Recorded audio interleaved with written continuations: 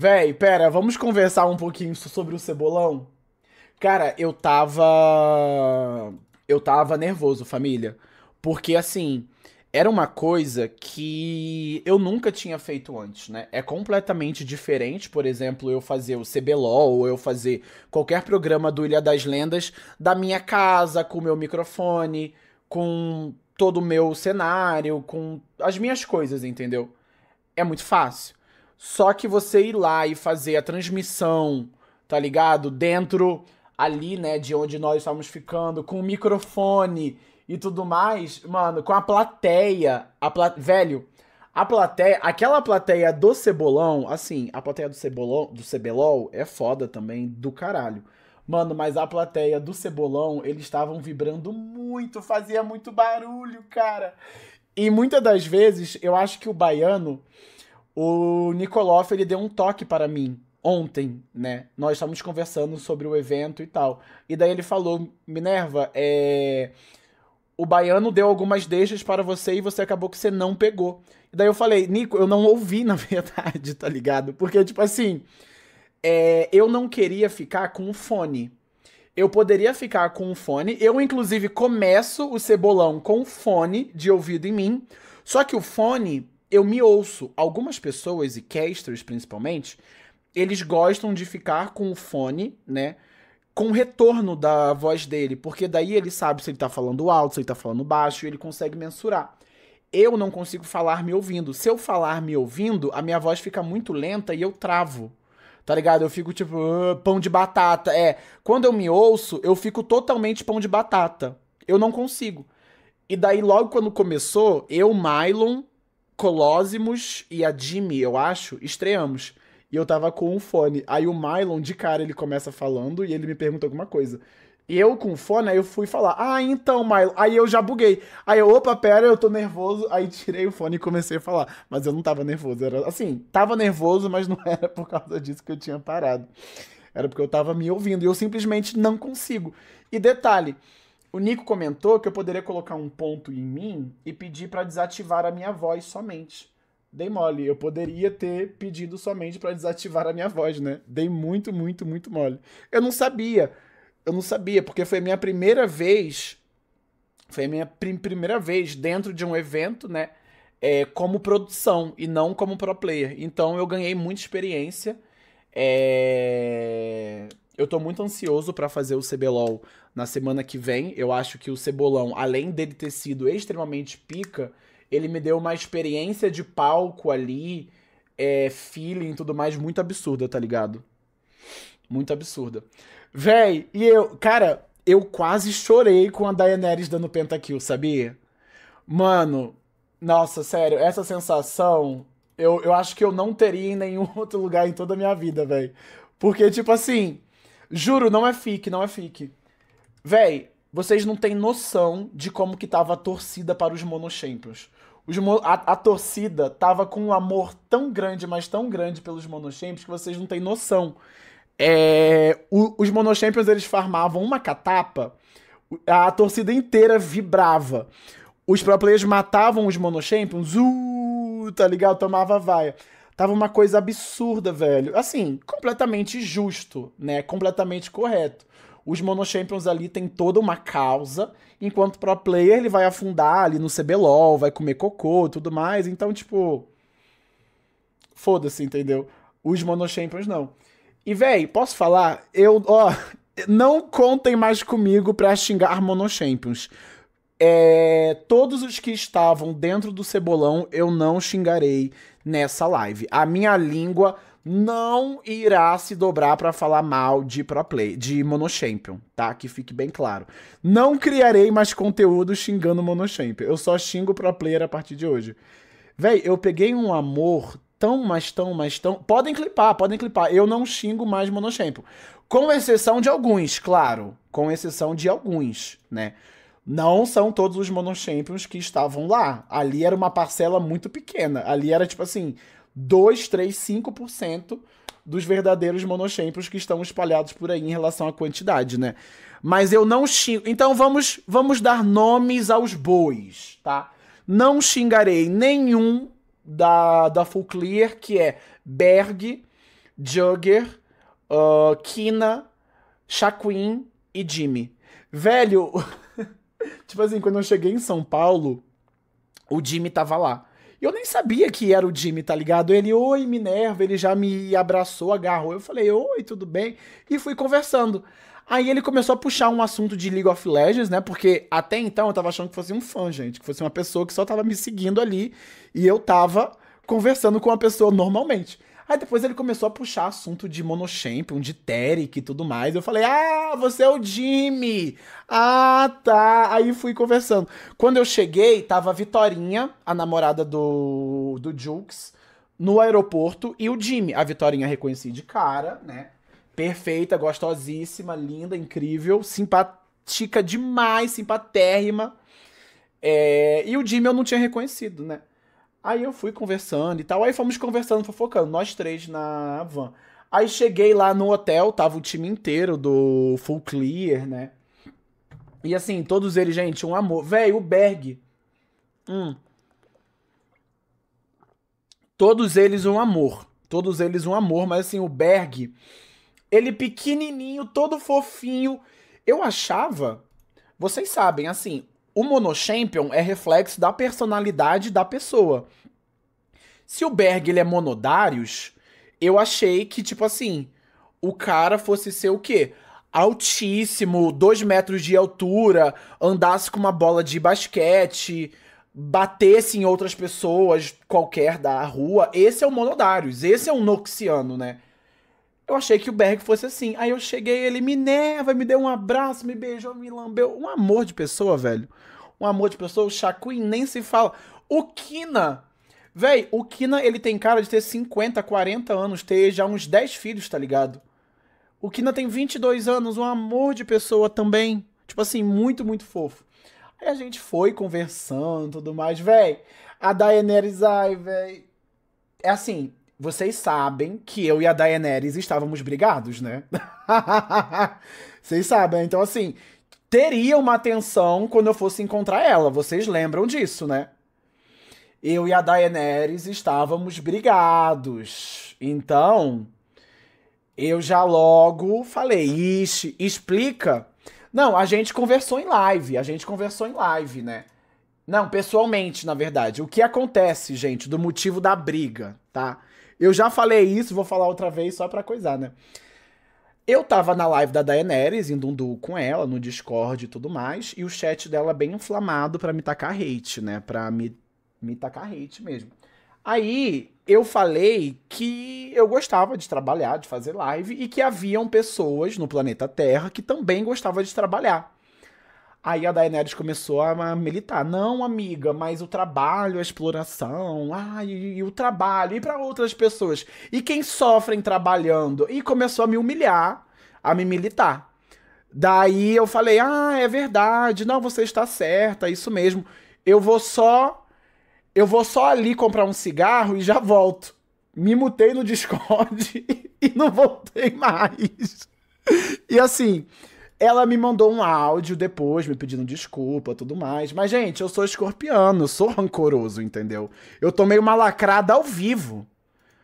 Eu preciso de um tempinho para perdoar. Mas enfim, assim, eu perdoei ela, né? A gente poderia continuar conversando, mas eu falei: ah, a gente não, não tem como ir mais duo, não. Vamos cada um pro seu canto. Cada cachorro que lamba a sua caceta e fé, tá ligado? E foi isso. Aí quando eu encontrei ela, eu pensei esse viado, essa passiva tóxica, vai empinar o nariz, não vai olhar para a minha cara, vai cuspir em mim, vai cagar em mim, vai recitar Taylor para mim, e daí não, ela me viu, ela correu, ela me abraçou, quanto tempo e não sei o que, e foi tipo assim, mil amores, né? Isso eu encontrei ela quando eu encontrei todo mundo do time dela também. Com exceção do Curtis, na verdade. Eu só não encontrei o Curtis ali instantaneamente, mas encontrei ela, o Nick Link, todo mundo. Todo mundo veio, muito simpático, muito fofo, beijando, abraçando, tá ligado? É. Nick Link também. Gente, eu tinha uma visão do Nick Link que, que ele fosse doente, entendeu? Que ele cagasse e comesse, literalmente. Que ele cagasse nem no vaso, tá ligado? Pra mim, o Nick Link ele cagava num, num pote de comida e comia com garfo e faca. Essa era a minha. Essa era a minha impressão dele. Só que um amor de pessoa. Não, eu fiquei chocado. Um amor de pessoa. É... Ele me viu, abraçou. Ai, Minervinha, gosto muito de você. Não sei o que, não sei o que, não sei o que lá. A mesma coisa, a mesma coisa a, a Yula. Gente, a Yula, para mim, era uma maluca, era louca, era outra que, tipo assim, cagava e comia. Pra mim, eu achava que era o, era o casal perfeito, entendeu? O casal dos, dos malucos. A Yula, ela não é, não é. Yula não é. Eu encontrei a Yula pessoalmente. Ela, e aí, Minerva? Nossa, beijou, lambeu, me fez carinho. Amo muito você. Você é um dos poucos streamers de League of Legends que eu acompanho. Se não o único, eu amo a sua live. Eu amo até os ganks que você dá, não sei o que, blá blá blá blá blá. Isso é Yula para mim. E, velho, eu recebi tanto, tanto, tanto carinho de todo mundo do cenário. É... Que eu juro, eu fiquei, cara, eu não mereço isso. Eu não mereço isso. Mas aí então, com a Daenerys foi assim: a gente se encontrou, né? Quebramos ali o, o gelo, que havia um gelo, havia uma tensão, né? A gente estava ali meio que tipo. Quem que é o rival mesmo do Charada? é o detetive, né? A gente tava nessa vibe assim, detetive Gordon versus Charada. O Batman, ah, é verdade, é o Batman, né? a gente tava nesse, nesse negócio assim, mas a Daenerys ela não ia ser o Batman, né? Ela ia ser a Arlequina. Mulher, né? Até parece que ela ia ser o Batman. Ela ia ser a mulher.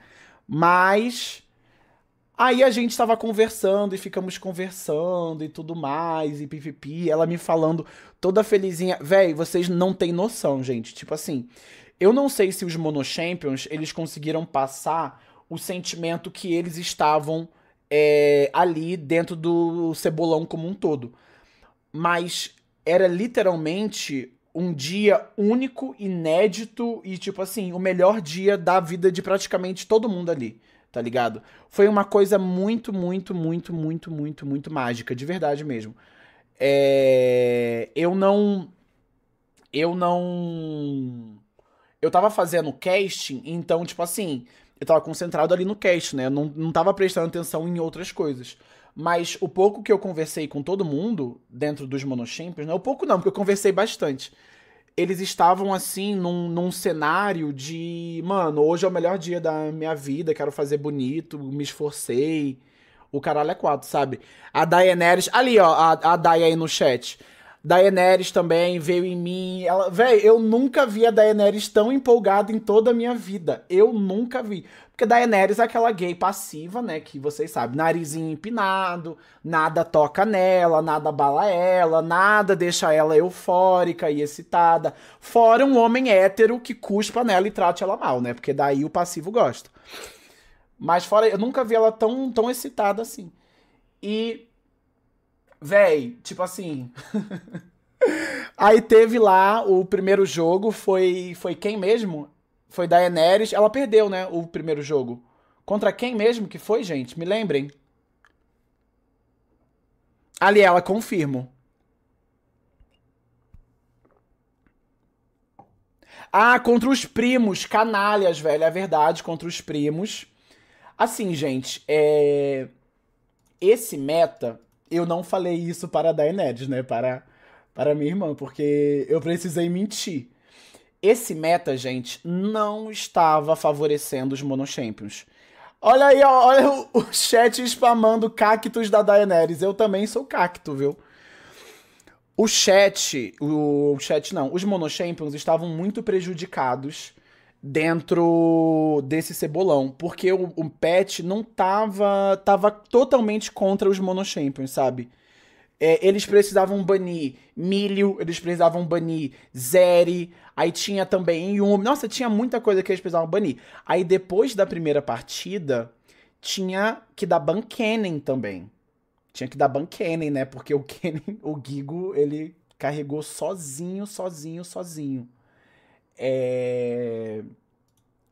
Aí tinha o Kennen ainda, aí foi tipo assim, uma parada tensa. Eu, sendo super sincero, gente, eu já tinha em mente que os Monochampions, né? É, todos os times dos Monochampions, que são os dois, o Full Clear e os Eternos protagonistas, eu sabia que eles não iriam longe. Porque tava muito difícil, muito, muito difícil. A Riot garfou e beneficiou os pro players. Garfou os Monochampions e beneficiou os pro players. Essa é a verdade. Essa é a verdade, tá ligado? Como que uma Evelyn hoje, por exemplo vai bater de frente com qualquer outro campeão. Isso porque os Monochampions, eles talvez não tenham se ligado tanto assim. Mas eles poderiam ter priorizado campeões de letalidade, que estava muito forte dentro desse meta, dentro do patch que eles estavam, que é o 13.10. Não era o 13.10? Era, né? E o Courtesy conversou com ele. Então, gente, o Courtesy foi o único que eu não conversei tanto assim, não. Porque o Courtesy, ele tem aquela vibe meio misteriosa, né? Eu tava até com medo dele dele, tá ligado? O Curtis, ele, o Curtis é doido, doido, doido, né, gente? Ele tá, o Curtis ele é nerd, nerd, nerd. Ele tava andando com rabo de cavalo, máscara, um risco no, no olho. Eu pensei, mano, esse cara aí vai bater em mim.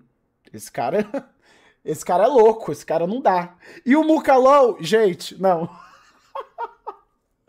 o Mukalou, olha, o que eu, o que eu vou falar aqui, vocês Algumas pessoas vão dizer que é fic, outras pessoas não. Eu encontrei o Muca e assim.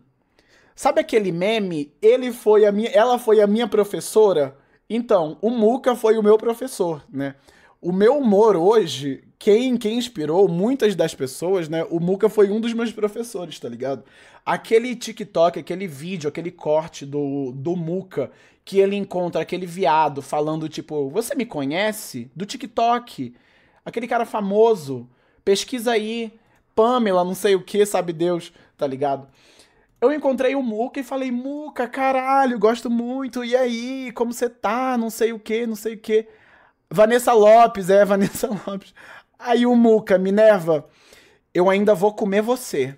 Pode anotar aí, ainda vou comer você, ainda vou beijar você. Eu acho que ele disse comer. Detalhe, ele disse isso ainda quando eu tava abraçando ele, tá ligado? Eu tava abraçando ele com a minha, a minha cabeça assim no, no, no, peito dele, né? Sendo super mega ultra carinhoso, super fofinho, né? Com a minha professora.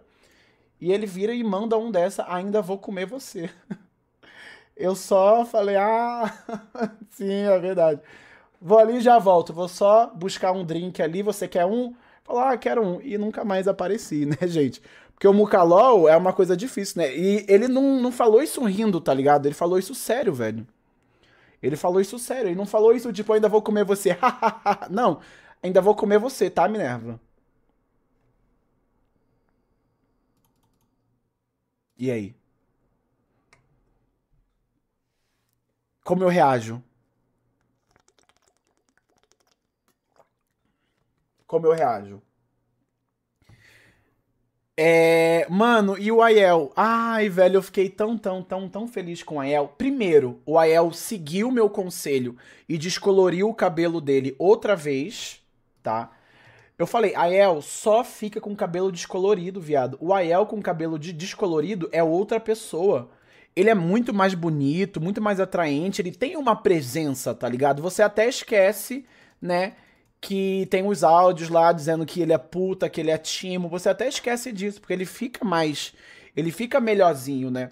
Mas eu fiquei muito contente pelo Aiel também, gente. Tipo assim. Uma das coisas que. Eu e o Aiel. Assim, nós conversamos muito, tá? Já fomos muito mais próximos do que somos hoje em dia. Mas nada por motivo específico, porque eu briguei, alguma coisa assim, não, porque ele tem a vida dele, né? Antes os nossos destinos eram muito juntos, porque a gente era do mesmo time, ou a gente era pro player, por aí vai. Então a gente já conversou muito. O Ael, ele é aquele típico amigo meu que eu tinha antes, né? Esse era o nosso nível de, tipo, amizade.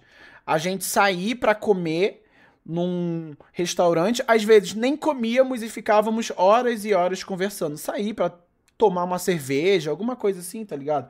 Esse era o meu nível de amizade com, com ele. Então eu sei muito dele, ele também sabe muito de mim. E uma das coisas que ele sempre bateu na tecla é que o Aiel, assim, é um fato que ele é muito bom. O Aiel, ele é muito bom. Só que a minha opinião, e também ele sabe disso, dessa minha opinião, obviamente, é que ele nunca conseguiu é, mostrar competitivamente o nível tão bom que ele tem dentro de League of Legends. Nunca não, mas tipo assim, foram poucas as vezes em que o verdadeiro Ael aparecia para dentro de jogo. Eu, eu já falei isso para ele, e daí uma das teorias em que tanto ele tem quanto eu tenho sobre ele é que a vida de pro player não faz bem para ele. Eu vi também uma live do, do Shine, ele comentando sobre isso.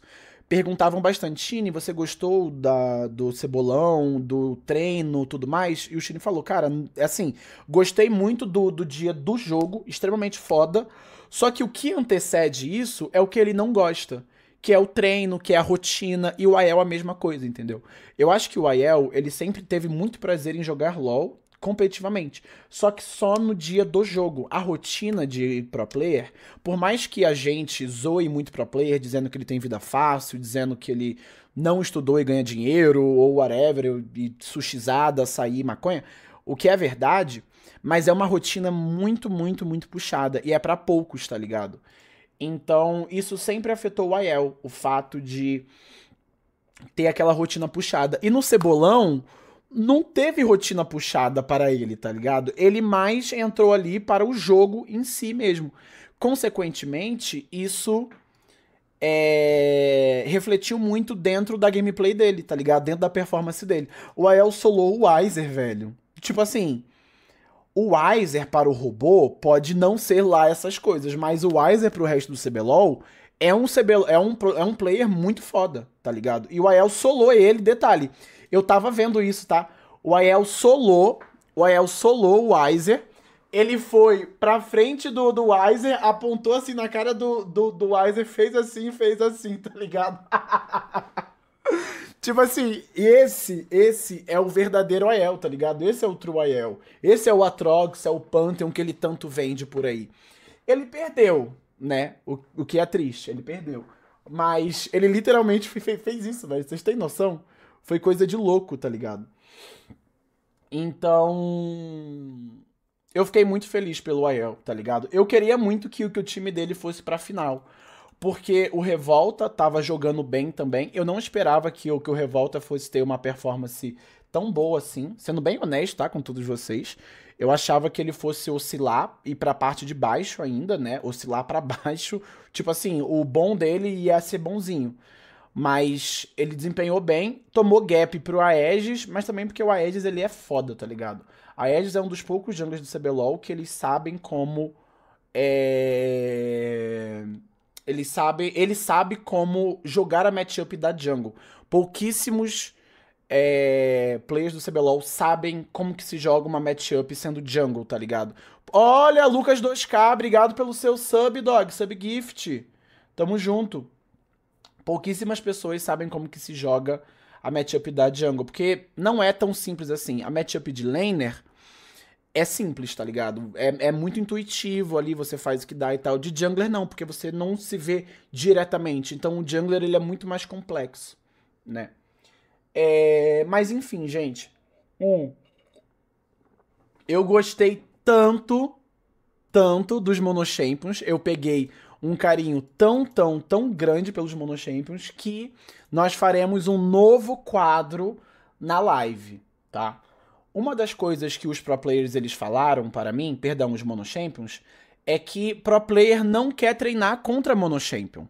Entendeu? Pro player não quer. E com razão. Para que que pro player vai, vai treinar contra uma Evelyn se ele não não vai jogar contra uma Evelyn? Para que que um pro player vai treinar contra um Yasuo bot com uma Lux mid ou um Shaco jungle e um Singed AD carry? Não tem como.